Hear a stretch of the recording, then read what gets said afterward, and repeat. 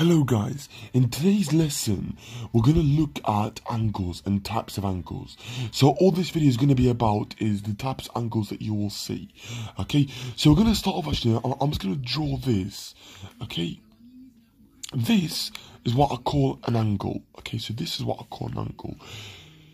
Now, this is actually called an acute angle. An acute angle, by definition, is an angle between 0 and 90. It does not include 90, okay? So it's between 0 to 90, okay, degrees, okay? That, that, that, that's degree symbol, okay? So that's my angle, okay? So that's the first type. Okay, we're now going to look at like a second type. Okay.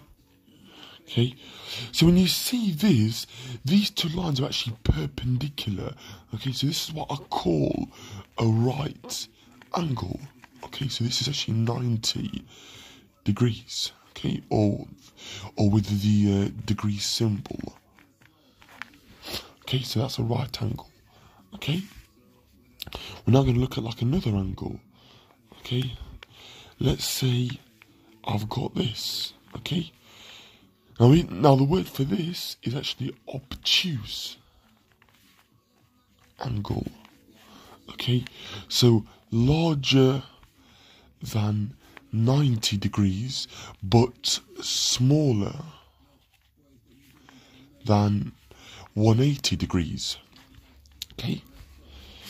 Then we're going to have, obviously, we're going to have this. Okay, so this is what I call a straight line. Okay. Um, so this is what I'm going to call 180 degrees. Okay, straight line. Okay. And then finally, we've got essentially, we've got this idea, which is what I call a reflex angle. Okay, so this is when it's larger than 180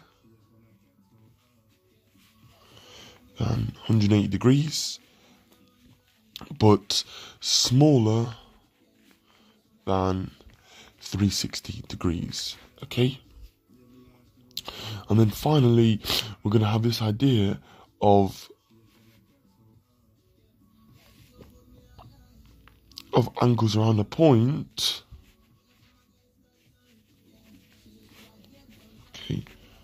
angles around a point equals 360 degrees. Okay, so these are the main types of angles.